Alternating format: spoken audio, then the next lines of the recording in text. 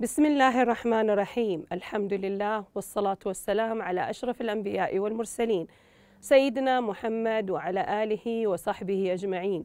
حياكم الله أعزائي وعزيزاتي طلاب وطالبات الصف الثاني الابتدائي في التعليم المستمر في درس جديد من سلسلة دروس مادة الرياضيات في قنوات عين التعليمية للفصل الدراسي الثاني.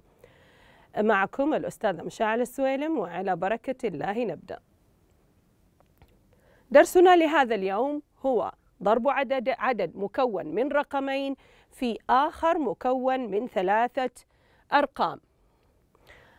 الدرس هو الرابع والعشرون وهنا رابط الدرس الرقمي. تعلمنا في الدرس السابق ضرب عددين كل منهما مكون من رقمين وقلنا أن رقمين يعني منزلتين آحاد وعشرات.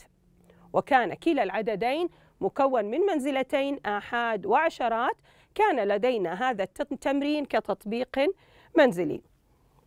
وقلنا عند ضرب مثل هذه الأعداد لدينا طريقتان. الطريقة الأولى هو أن أفصل العدد أربعة وخمسون أو أحلله بأن يكون أربعة زائد خمسون وأضرب الأربعة في الستة وثلاثون ثم أضرب الخمسون في الستة وثلاثون أو باستعمال الطريقة المختصرة كما نرى الآن بأن أضرب الأربعة في الستة ليعطينا أربعة وعشرون. أحسنتم أربعة وعشرون. نكتب الأربعة في الآحاد. أما الاثنان فإعادة تجميع فوق المنزلة التي تليها. الآن أضرب الأربعة في الثلاثة. إذا نضرب العدد الموجود في الأسفل بجميع الأعداد الموجودة في الأعلى. أربعة ضرب الثلاثة يساوي اثنى عشر ونضيف إعادة تجميع. نضيف الاثنان يصبح أحسنتم أربعة عشر. الآن أضرب الخمسة في الستة ويكون الناتج ممتاز ثلاثون ولكن أين سأكتب الثلاثون؟ رائع جدا صفر في منزلة العشرات. أحسنتم. صفر في منزلة العشرات وثلاثة إعادة تجميع فوق المنزلة التي تليها. إذا نضع صفرا في الآحاد لحفظ هذه المنزلة. الآن خمسة بستة سيعطينا ثلاثون. صفر والثلاثة إعادة تجميع فوق المنزلة التي تليها خمسة في الثلاثة خمسة عشر ومعنا ثلاثة أصبح الناتج ثمانية عشر. الآن انتهت عملية الضرب نغلق ثم نجمع أربعة زائد صفر أربعة وأربعة زائد صفر أربعة. كما قلنا سابقا أن الصفر هو العنصر المحايد الجمعي إذا سيعطينا نفس العدد. واحد زائد ثمانية تسعة وصفر زائد واحد يساوي الواحد الناتج 1904 وأربعون. الآن لدينا هذا التمرين أيضا 27 ضرب 13 نلاحظ طلاب الأعزاء الآن نلاحظ في هذا التمرين وفي التمارين السابقة ونلاحظ ما سوف نتعلمه في هذا الدرس. هل يوجد اختلاف؟ هل يوجد اختلاف بين هذا التمرين أو هذه التمارين والدرس السابق وما سنتعلمه في هذا الدرس؟ إذا نلاحظ جيدا الآن. ثلاثة في سبعة سيكون واحد وعشرون واحد. إعادة تجميع الاثنان فوق المنزلة التي تليها. ثلاثة بإثنان سيعطينا ستة زائد الاثنان يكون ثمانية. الآن انتهينا من ضرب الثلاثة نقوم بضرب الواحد ويكون الواحد هذا العدد أين هو موجود؟ الواحد أين هو موجود؟ أحسنتم في منزلة العشرات إذا نكتب صفرا في الآحاد لحفظ هذه المنزلة واحد في سبعة ممتاز سبعة واحد في اثنان سيعطينا اثنان أحسنتم لماذا؟ لأن الواحد هو العنصر المحايد في الضرب سيعطينا نفس الرقم. إذا عنصر المحايد في الضرب هو الواحد والعنصر المحايد في الجمع هو الصفر. نغلق الآن ثم نقوم بعملية الجمع. واحد زائد صفر واحد ثمانية زائد خمس زائد سبعة خمسة عشر خمسة وواحد إعادة تجميع أو إعادة حمل. واحد زائد اثنان ثلاثة فيكون الناتج ثلاثمائة وواحد وخمسون. في درسنا لهذا اليوم سنتعلم ضرب عدد مكون من رقمين. في عدد آخر مكون من ثلاثة أرقام عندما أقول رقمين ماذا يعني؟ أحسنتم كما تعلمنا سابقا منزلتين آحاد وعشرات وعدد من ثلاثة أرقام إذا كم سيكون منزلة من منزلة مكون من كم منزلة؟ رائع جدا آحاد وعشرات ومئات إذا في هذا الدرس سنتعلم ضرب عدد من ثلاثة أرقام أحاد وعشرات ومئات مضروب في عدد آخر من منزلتين أو من رقمين آحاد وعشرات. وسنلاحظ الفرق بين ما سنتعلمه اليوم وما تعلمناه في الدرس القادم بإذن الله. لدينا هذا المثال. أوجد 135 ضرب 64 نلاحظ هنا العدد 135 مكون من ثلاثة منازل آحاد وعشرات ومئات. مضروب في 64 وهو مكون من منزلتين عدد من رقمين أي منزلتين. كيف يمكننا ضرب هذه الأعداد؟ كما قلنا سابقا يمكن تحليل العدد. 64 إلى 4 زائد 60 ثم نضربه ب 135 إذا سنضرب 135 في الأربعة ثم سنضربها بالستون. فيكون أربعة ضرب 135 سيعطينا أربع 540 وإذا ضربنا الستون في 135 سيعطينا ثمانية آلاف ومئة. نقوم نغلق الآن ونقوم بعملية الجمع لنحصل على الناتج ثمانية آلاف وستمائة وأربعون. هذه طريقة التحليل. إذا توزيع الجمع على الضرب. أما إذا أردنا أن نضرب بالطريقة المختصرة فإننا نضرب كما تعلمنا. نضرب العدد في الأسفل بجميع الأعداد في الأعلى. فأقول أربعة في خمسة. أحسنتم سيعطينا عشرون. صفر واثنان إعادة تجميع. أربعة في الثلاثة اثنا عشر. ومعنا اثنان أربعة عشر. هنا أربعة وواحد. إعادة تجميع. أربعة في واحد أربعة. ومعنا واحد أصبح الناتج خمسة. إذا خمسمائة وأربعون كما نلاحظ هنا خمسمائة وأربعون. الآن سنضرب العدد ستة بالأعداد الموجودة في الأعلى ولكن نضع صفرا في الآحاد لحفظ هذه المنزلة. صفر في الآحاد لحفظ المنزلة. ستة في الخمسة سيعطينا ممتاز ثلاثون وضعنا صفر وثلاثة فوق المنزلة التي تليها. الآن ستة في الثلاثة أحسنتم ثمانية عشر ومعنا ثلاثة. أصبح واحد وعشرون. أحسنتم. هنا واحد ولدينا هنا اثنان. إعادة تجميع. ستة في واحد ستة لأن الواحد هو العنصر المحايد. أحسنتم. العنصر المحايد في الضرب. آه ستة زائد اثنان سيكون الناتج ثمانية. إذا أصبح الناتج كما نلاحظ هنا ثمانية آلاف ومئة. نغلق ثم نقوم بعملية الجمع لنحصل على الناتج نفس الناتج وهو ثمانية آلاف وستمائة وأربعون. إذا طلابي الأعزاء أي طريقة استخدمناها لإجراء عملية الضرب سواء كانت توزيع الضرب على الجمع أو الطريقة المختصرة يمكننا ذلك كما قلنا سابقا. وهل يوجد اختلاف بين ما تعلمناه في الدرس السابق من ضرب عددين أو عددين كل منهما من منزلتين مع ضرب عددين أحدهما من رقمين والآخر من ثلاثة أرقام؟ هل يوجد اختلاف؟ أحسنتم لا يوجد اختلاف على الإطلاق. فقط زيادة في منزلة واحدة وهذا لا يغير من طريقة إجراء عملية الضرب. الآن لدينا هذا المثال. أكمل الضرب. 263 وهو عدد من ثلاثة منازل. ضرب 25 وهو عدد من منزلتين أو من رقمين.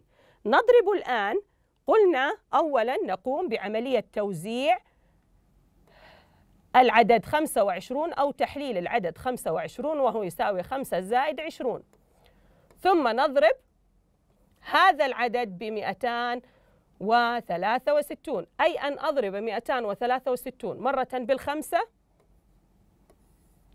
ومرة بالعشرون ونحصل على الناتج.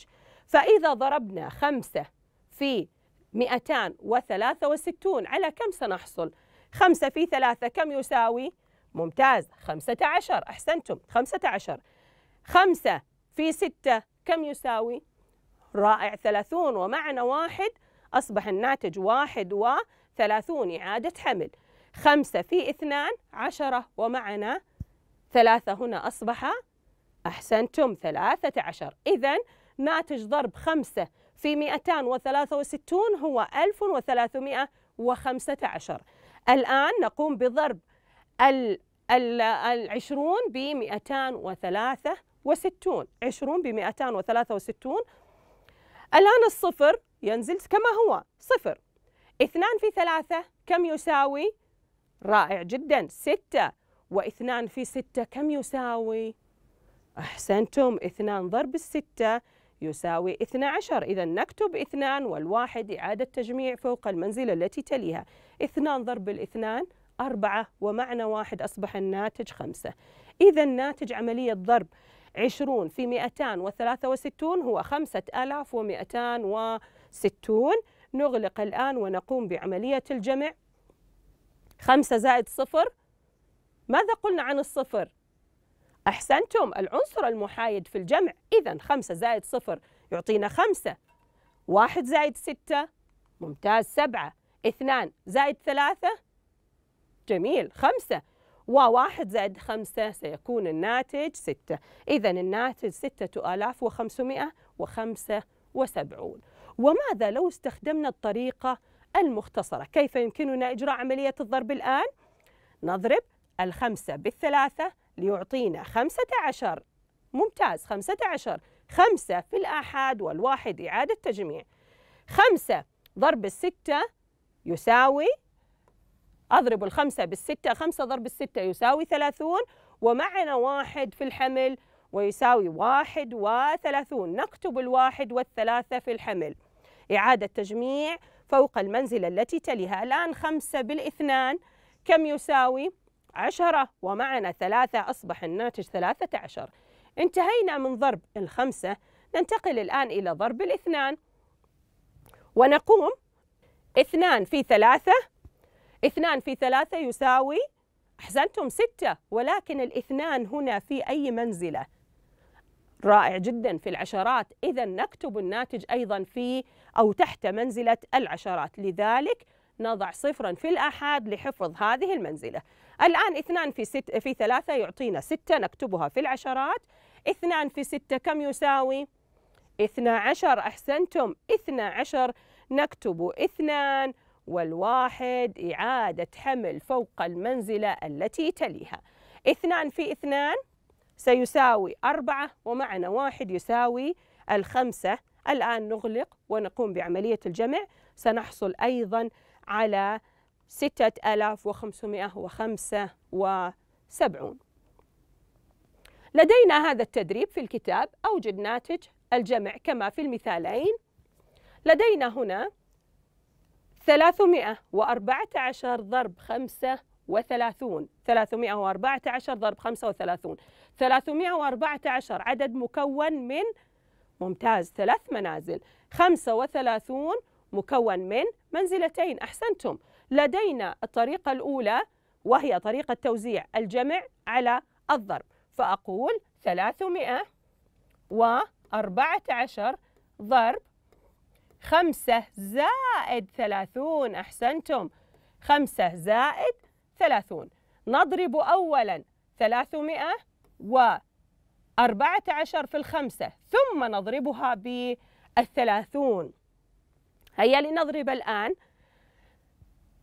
خمسة ضرب ثلاثمائة وأربعة عشر. كم يساوي خمسة في أربعة؟ ممتاز عشرون. خمسة في واحد؟ خمسة. أحسنتم العنصر المحايد الضربي. زائد اثنان يساوي سبعة. خمسة في ثلاثة خمسة عشر. إذا ألف وخمسمائة وسبعون. الآن نضرب الثلاثون في ثلاثمائة وأربعة عشر. صفر سينزل. وأضرب الآن ثلاثة في الأربعة. كم يساوي؟ أحسنتم. اثنى عشر.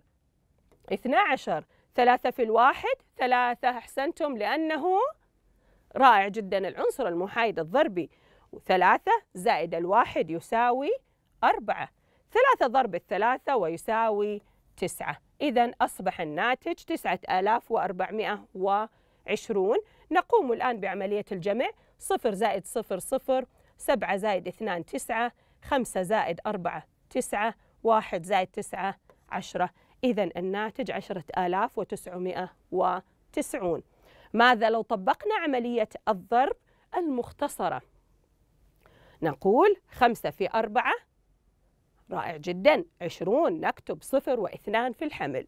إعادة تجميع. خمسة في الواحد العنصر المحايد الضربي سيعطينا خمسة أحسنتم ومعنا اثنان أصبح الناتج سبعة.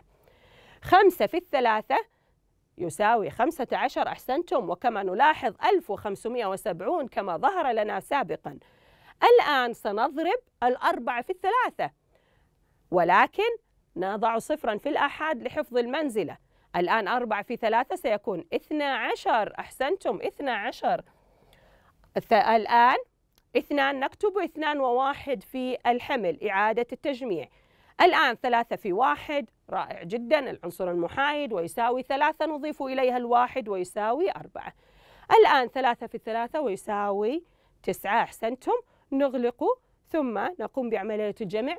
صفر زائد صفر صفر سبعة زائد اثنان تسعة خمسة زائد أربعة تسعة أيضا وواحد زائد تسعة عشرة ليكون الناتج عشرة آلاف وتسعمائة وتسعون كما ظهر هنا. إذا طلابي الأعزاء لنا الحرية في اختيار الطريقة المناسبة لإجراء عملية الضرب. الآن لدينا هذا التمرين أيضا 842 ضرب 71 842 هو عدد من ثلاثة منازل أو ثلاثة أرقام و71 هو عدد من منزلتين آحاد وعشرات. نضرب الآن بالطريقة المختصرة. واحد في اثنان. جميل. واحد. العنصر المحايد. أحسنتم. واحد في الأربعة. رائع جدا. أربعة. وواحد في الثمانية مباشرة. سيكون الناتج ثمانية. أحسنتم طلابي. والآن انتهينا من ضرب الواحد. نقوم بإضافة صفر ممتاز لحفظ منزلة الآحاد. ونقوم بضرب الآن سبعة ضرب الاثنان ليساوي أربعة عشر. نكتب أربعة والواحد إعادة تجميع فوق المنزلة التي تليها. وأقول إعادة تجميع لأننا نقوم بإجراء عملية الجمع في الأعداد التي قمنا بحملها في الأعلى. سبعة ضرب الأربعة ثمانية وعشرون. أحسنتم. زائد واحد يصبح الناتج تسعة. وعشرون نكتب الاثنان إعادة تجميع فوق المنزلة التي تليها. والآن نضرب سبعة بالثمانية. كم الناتج؟ أحسنتم ستة وخمسون واثنان. سيكون الناتج ثمانية وخمسون. نغلق الآن ثم نقوم بعملية الجمع. الآن نلاحظ الآن أصبح لدينا عملية جمع وأقول اثنان زائد صفر. جميل جميل جدا. اثنان لأن الصفر هو العنصر المحايد. أحسنتم. أربعة زائد الأربعة ثمانية ثمانية زائد تسعة رائع جدا سبعة عشر. واحد زائد ثمانية تسعة وصفر زائد الخمسة ويساوي خمسة. إذا الناتج لدينا هنا تسعة وخمسون ألفا وسبعمائة واثنان وثمانون. أيضا لدينا هذا التمرين. أوجد ناتج ضرب 526 ضرب 42 عدد من ثلاثة أرقام مضروب في عدد من رقمين بنفس الطريقة سواء اخترنا طريقة توزيع الضرب على الجمع أو بالطريقة المختصرة. والآن سنقوم بالحل أيضا بالطريقة المختصرة. اثنان ضرب الستة أحسنتم. اثنى عشر نكتب اثنان وواحد. إعادة تجميع فوق المنزلة التي تليها اثنان ضرب الاثنان. ممتاز. أربعة ومعنا واحد في عدد التجميع أصبح الناتج. خمسة ممتاز. الآن خمسة اثنان ضرب الخمسة ويساوي رائع جدا العشرة. انتهينا من ضرب الاثنان. نقوم الآن بضرب الأربعة وهي موجودة في منزلة العشرات ولكن نضع ممتاز نضع صفرا لحفظ منزلة الآحاد. والآن أقول أربعة ضرب الستة أربعة وعشرون أحسنتم أربعة وعشرون. أربعة ضرب الاثنان يساوي ثمانية ولدينا اثنان في الأعلى ثمانية زائد اثنان. ممتاز أصبح الناتج عشرة نكتب صفرا وواحد في إعادة التجميع. الآن أربعة ضرب الخمسة ويساوي عشرون ومعنا واحد أصبح الناتج واحد وعشرون. نغلق الآن ثم نجمع. اثنان زائد العنصر المحايد ممتاز يعطينا اثنان خمسة زائد أربعة تسعة وصفر زائد صفر صفر واحد زائد واحد اثنان وصفر زائد اثنان يساوي اثنان. إذا الناتج اثنان وعشرون ألفا واثنان وتسعون. الآن لدينا هذا التمرين ثلاثمائة واثنان وستون ضرب ثلاثة وخمسون. بنفس الطريقة نقوم بضرب العدد الأعداد في الأسفل أو العدد في الأسفل بجميع الأعداد الموجودة في الأعلى. فأقول ثلاثة ضرب اثنان ممتاز. ستة ثلاثة ضرب الستة جميل. ثمانية عشر نكتب الثمانية. أما الواحد إعادة تجميع فوق المنزلة التي تليها ثلاثة في الثلاثة يا سلام تسعة ومعنا واحد أصبح الناتج عشرة. الآن نقوم الآن بضرب الخمسة وهي في العشرات. إذا نضع صفرا لحفظ منزلة الآحاد وأقول خمسة في الاثنان. أحسنتم عشرة. لدينا عشرة نكتب صفر وواحد إعادة تجميع فوق المنزلة التي تليها. الآن خمسة ضرب الستة رائع جدا. ثلاثون ومعنا واحد أصبح الناتج واحد وثلاثون. الآن نضرب الخمسة بالثلاثة. جميل. خمسة عشر ومعنا ثلاثة أصبح الناتج ممتاز. ثمانية عشر. انتهت عملية الضرب الآن نغلق ثم نجمع. ستة زائد العنصر المحايد. يا سلام ستة. ثمانية زائد العنصر المحايد أحسنتم. ثمانية. العنصر المحايد زائد واحد. جميل واحد. واحد زائد ثمانية تسعة. وصفر زائد الواحد ويساوي واحد إذا الناتج تسعة عشر ألفا ومئة وستة وثمانون. لدينا أيضا هذا التمرين أربعمائة وسبعة وثمانون ضرب التسعة والخمسون. وكما قلنا نأخذ الأعداد في الأسفل ونضربها بجميع الأعداد الموجودة في الأعلى. فأقول تسعة ضرب السبعة كم يساوي؟ أحسنتم. ثلاثة وستون. إذا نكتب الثلاثة والستة. إعادة تجميع فوق المنزلة التي تليها. الآن تسعة ضرب الثمانية. أحسنتم. أحسنتم. إذا تسعة ضرب الثمانية اثنان وسبعون. ونضيف إليها الستة. كم يصبح لدينا؟ ثمانية وسبعون. أحسنتم. تسعة ضرب الأربعة. جميل. ستة وثلاثون ومعنا سبعة. ستة وثلاثون معنا سبعة يصبح الناتج ثلاثة وأربعون. الآن نقوم بضرب. انتهينا من ضرب التسعة. نقوم بضرب الخمسة. بالأعداد جميع الأعداد الموجودة في الأعلى ولكن الخمسة هنا في منزلة العشرات. إذا يكون الناتج في منزلة العشرات. نضع صفرا لحفظ هذه المنزلة. خمسة في السبعة الآن. كم الناتج؟ أحسنتم خمسة وثلاثون. نكتب الخمسة والثلاثة إعادة تجميع فوق المنزلة التي تليها. خمسة في الثمانية أحسنتم أربعون. ولدينا ثلاثة يصبح الناتج ثلاثة وأربعون. خمسة في الأربعة كم يكون الناتج؟ رائع جدا. عشرون. ولدينا أربعة إذا الناتج أربعة وعشرون. نغلق الآن ثم نقوم بعملية الجمع. ثلاثة زائد صفر العنصر المحايد يساوي ثلاثة أحسنتم. خمسة زائد ثمانية ثلاثة عشر. ثلاثة واحد في الحمل. ثلاثة زائد ثلاثة ستة مع الواحد سبعة. أربعة زائد أربعة يساوي ثمانية والإثنان صفر زائد اثنان اثنان. إذا الناتج ثمانية وسبعون آه، ثمانية وعشرون ألفا وسبعمائة وثلاثة وثلاثون. أيضا نشاهد هذا التمرين. نقوم بحل هذا التمرين أيضا بالطريقة المختصرة وكما قلنا سابقا يمكنكم طلاب الأعزاء اختيار الطريقة المناسبة لإجراء عملية الضرب. فلدينا هنا 256 ضرب 97 نقوم الآن بضرب السبعة في الستة. كم يساوي سبعة ضرب ستة؟ أحسنتم 42 نكتب الاثنان والأربعة إعادة تجميع فوق المنزلة التي تليها. الآن لدينا سبعة ضرب الخمسة ويساوي ممتاز سبعة ضرب الخمسة خمسة وثلاثون ولدينا أربعة تسعة وثلاثون. إذا نكتب تسعة والثلاثة إعادة حمل فوق المنزلة التي تليها. سبعة ضرب الاثنان أربعة عشر. أحسنتم ومعنا ثلاثة يصبح الناتج سبعة عشر. ممتاز.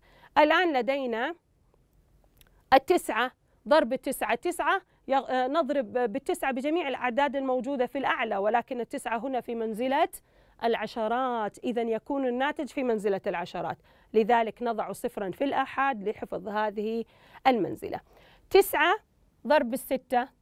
تسعة ضرب الستة أحسنتم أربعة وخمسون. نكتب أربعة والخمسة إعادة تجميع فوق المنزلة التي تليها. تسعة في الخمسة. ممتاز. خمسة وأربعون ولدينا خمسة أصبح الناتج. خمسون إذا نكتب صفراً وخمسة إعادة تجميع. تسعة بالإثنان ثمانية عشر ومعنا خمسة أصبح الناتج ثلاثة وعشرون. نغلق الآن ونقوم بعملية الجمع اثنان زائد صفر اثنان وتسعة زائد أربعة ثلاثة عشر أحسنتم واحد زائد سبعة ثمانية زائد الصفر يساوي ثمانية أحسنتم واحد زائد ثلاثة. ممتاز أربعة وصفر زائد اثنان يكون الناتج اثنان. إذا الناتج أربعة وعشرون ألفا وثمانمائة واثنان وثلاثون. لدينا طلاب الأعزاء هذا التمرين. سنقوم بحله بطريقة التوزيع فقط. ويكون تطبيقا عليكم تطبيقا منزليا حل هذا التمرين بطريقة الطريقة المختصرة الضرب بالطريقة المختصرة. 421 ضرب 87 يعني 421 ضرب 7 زائد 80 أحسنتم. إذا 4 نضرب 421 في السبعة ثم نضرب ال 421 في الثمانون.